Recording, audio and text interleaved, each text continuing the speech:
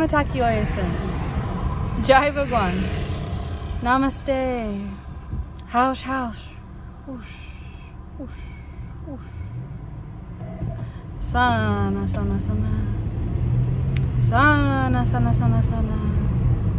Welcome home, my family, my brothers, my sisters. Oh, have I told you lately that the weather here is absolutely perfect?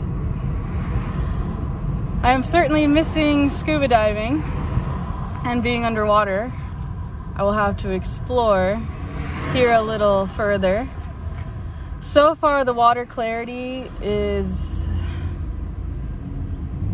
How can I say without insulting? It's not clear. There you go. How about that? it's not clear.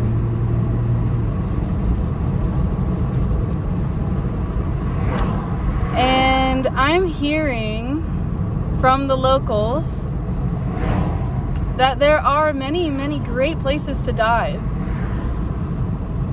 And I have yet to walk into our local dive shop and have a discussion. I am sure in that atmosphere, I will meet a lot of people who are water lovers like me.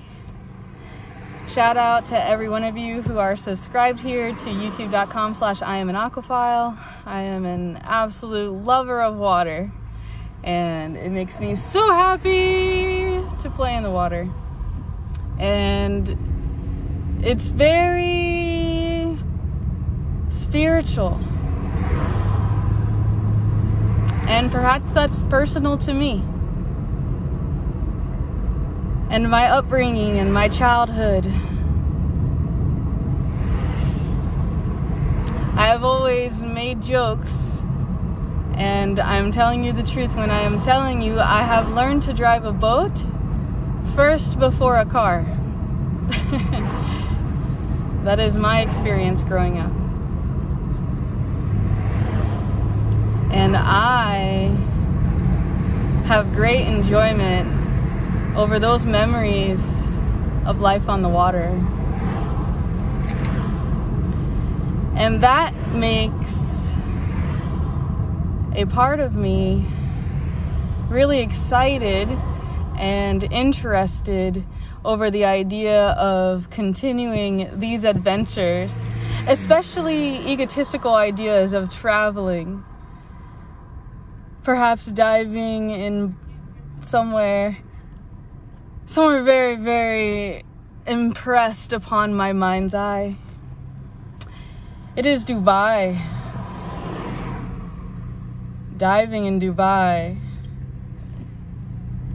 I have heard many stories of what this place is like and what artificial intelligence is like there and robotics and just the nature of the overall heritage there. And I cannot agree with the stories until I have the experience of walking on the premises, exploring the lands, shaking hands. okay. That is my dream is expanding my mind and specifically changing myself and removing the judgment and the criticism and the control and the sense of rulership, attempting to identify and label and name things and think that I am knowing what is in front of me. This absolute hunger for knowledge, this nonsense, almost egotistical, materialistic, self fulfilling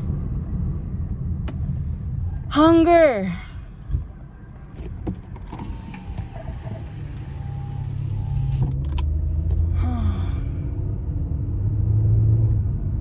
perhaps I am not listening to the impulses that are given to me in the exact split second. And perhaps I am in need of practice at being more intelligent by Shema to this innate silent intelligence within me that is guiding me and often I am not listening, and man, almost every time am I regretting when I am not following orders. I can make light of those situations all day. However, I am one who I can say in the past that I am not always paying attention. And most of all, I am not always noticing that I am not paying attention. The dissociation. Others name this experience of having a OBE, an out of body experience, where I am checking out, leaving the body